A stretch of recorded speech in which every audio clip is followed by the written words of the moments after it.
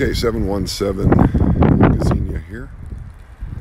Exterior of the house is in good shape. They uh, on the front side here. I don't know if you noticed. They have a uh, little goldfish pond here.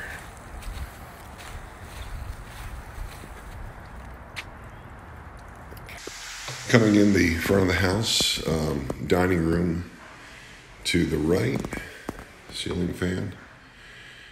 As I mentioned, I mean the uh, the walls need a little bit of touch up here and there, but um, toilet to the left hand side.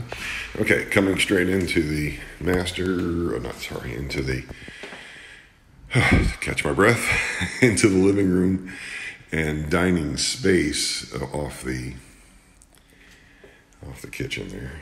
Floors are in good shape.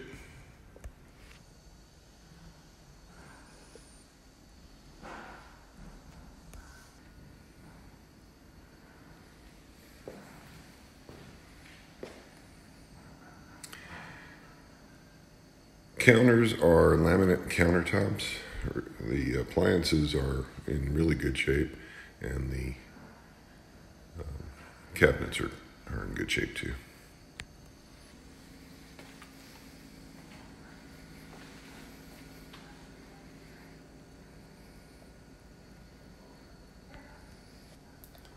This is right off the kitchen.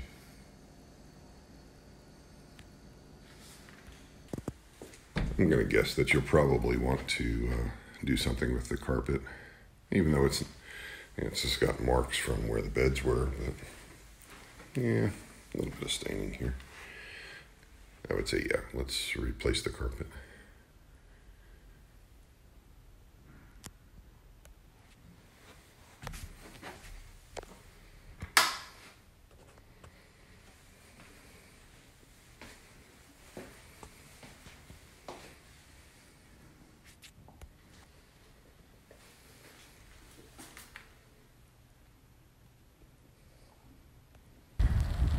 Pretty large backyard, or at least reasonably sized backyard, looking out onto the pond. What I thought was neat was the uh, patio. Now, this needs to be power washed, but a large patio for uh, sitting outside. Just I wanted to uh, let you know about the uh, the stove here. So it does um, that, and then you can open it up that way as well. Or you can do it as. Right. Okay. And then the same similar situation here on the on the refrigerator too. Pull the lever. And then you can just get to the sodas and stuff out front. Yeah. Okay. If you're cooking out or something, these things lift off so you can carry these Gotcha. outside. All right. All right. Thank you. Heading upstairs to the kids' rooms.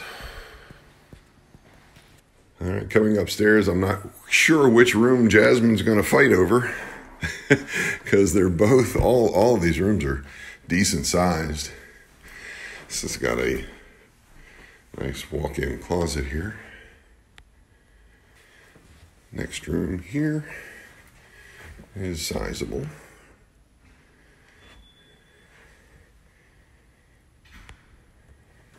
This one has a laminate floor but also, again, a decent sized room. This one, of course, looks out onto the backyard here.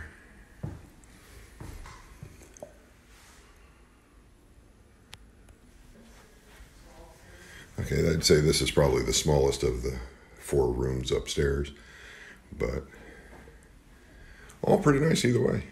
Again, all, all of the walls need a little bit of touch up here and there.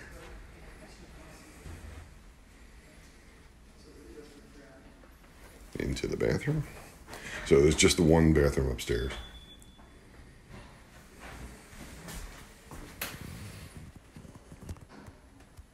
So just a quick shot of the neighborhood here. This is a neighborhood that was done by Beazer Homes.